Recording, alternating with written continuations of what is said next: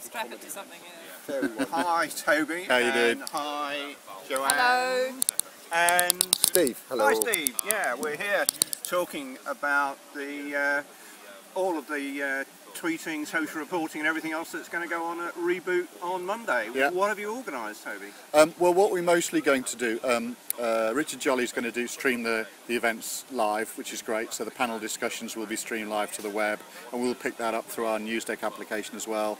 Um, but the other thing that, so what we're mostly going to be doing is uh, the Vox Pop stuff. So we're going to be doing, asking people to uh, tweet all the cool things that they've just heard. We'll be doing some Audioboo interviews. We'll be doing some Qik and 12 second stuff as well.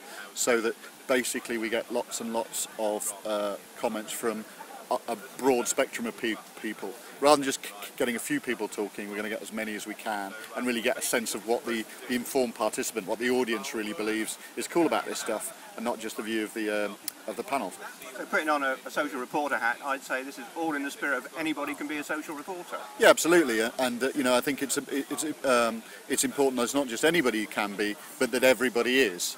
You know th- that actually um, it's uh, we, we're enabling everybody to do it, even if they haven't come along with a kit or the intention of doing it. Everyone's got an opinion, and we'd like to hear about it. So how, where will the uh, aggregation be? Um, well, the uh, uh, the ag- we're going to aggregate onto our application called Newsdeck, uh, which has got a little chat room. It'll stream the live feed, um, and it will aggregate, um, you know, the Flickr and the Qik and the 12-second Audioboo content. Um, it's got a little um, Twitter search, etc., etc. Um, so we'll make that URL available to people. Uh, don't quite know what the domain is at the moment. We'll sort that out. Um, and then anybody searching any of those services for the reboot hashtag will find it there as well. So it, it exists in a, in a multitude of places. And what's the uh, tips for anybody coming along uh, that wants to uh, contribute? I think the cool thing is uh, because the bandwidth is a bit limited to do near time rather than real time stuff, so upload it in the breaks, uh, and to ask lots of people a few simple questions rather than have uh, longer winded interviews. And Joanne, you've been doing so much to uh, with Toby to move Amplified uh, forward. How's it all been going? Oh, well, it's been fun. Um, what we really do need to do now is to work out ways that we can take the information that we're aggregating from all these events and turn it into something a little bit more meaningful. Um, so what I'm hoping with the Newsdeck content that we're going to be aggregating from Reboot Britain is that we'll then be able to sort of walk through all those materials and then repackage them in a way that's going to be useful for various sectors of people that are, uh, are turning up to the event. So there are some people coming from the public sector, there are some people who are coming from um, from health services sector, there's some that are coming from political backgrounds, some that are coming from commercial backgrounds, so they're all going to have different priorities.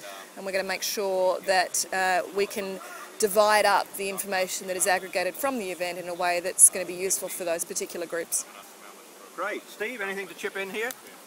Um, uh, just that what's what's fun about uh, the sort of social reporting angle on this is that we can be uh, endlessly experimental with it. That that that, that the, the mobility that we have by collecting data together in this way means that we can all try things out, and if one of us screws up, there's other people there picking up the slack.